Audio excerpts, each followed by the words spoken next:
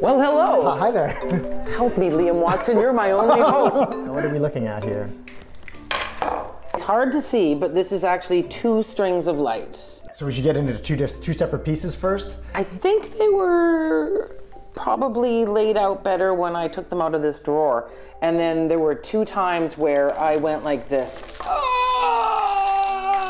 And then, As, as, as with most problems, it got worse before it's going to get better. so I have this problem, and I know that you teach something called knot theory. Yeah, that's right. So, um, my name's Liam Watson. I'm a professor of mathematics at UBC, and right now I am teaching a third year course called Introduction to Knot Theory. And is this anything like what you teach? Um, this is more complicated than, than, than what I teach. if I hear knot theory, this is what I imagine. It might be. We don't know yet because we haven't looked close, more closely at this. But let's, let's think about what, what a knot is in general. The knot in, in math is going to be some loop of string which I'll tie together in some complicated way. I Haven't decided how yet.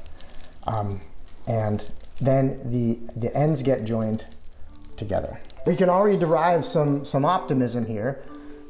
I'm pretty sure the two that the ends of these are not connected to one another. So even though we just learned that there's this whole discipline called knot theory and it's based on having the ends tied up, if I'm allowed, as you are, to undo the ends, then we at least have some hope. There must be a way to undo it because I've broken the knottedness. All right. Okay, so we can, we, so we have we have the hope. We just have to keep faith and you know try to handle your tangled mess. Can we imagine this as an equation? Is that it? Um, I would. Uh, so, n- no. you know, the problem is we know theoretically that if I pull if I pull these straight, then the mess should be obvious, and then I should be able to simplify that mess by pulling things back back through. But the act of pulling it straight makes this mess tighter and tighter and harder and harder to see what's going on, and and then that's when the geometry of play starts to really conspire against us. So would it be better to make the problem feel bigger, like we did? Yeah, that's, yeah. that's right. Make it worse. Make, is that this better, making it worse or making it know, better? I feel a lot better. How do you feel?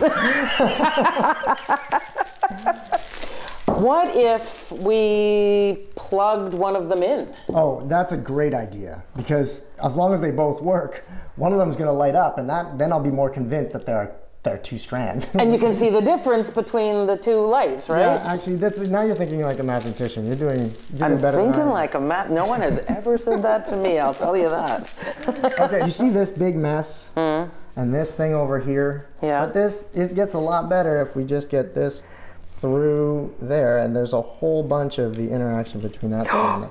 that. You see, that- Oh. then that, that, so sometimes these moments happen where you're like, oh wait, now I believe that this will get simpler. We can ignore this mess for a while, and that's a smaller mess than we started with. I think Oh, that's I my point. see. That's my point. We sort of had a divide and conquer approach here. I just need just the right amount of encouragement to get these stars out of the way, and that will happen. Knots are really uh, a baby case of, of, of an important principle of how it is that an object can live in, in three-dimensional space, or how is it that a two-dimensional object can live in four-dimensional space.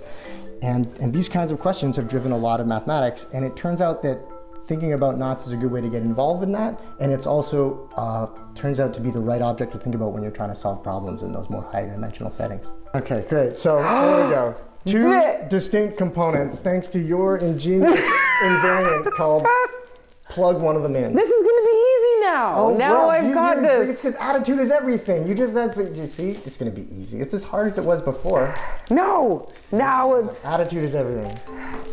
Oh yeah. I think I just made things a little worse. I doubt it. You have so much faith. That's really what's buoying my confidence right now. Look at this. This is a cat's cradle disaster, isn't it? But it does feel like you're onto it. Progress comes in, in surprising leaps and bounds. There, look at that. That is so much progress. Plug it in. Now we're going to Now really see the it in Christmas miracle. Yeah. Yay! I have no suggestion for how to put them away so they don't get tangled.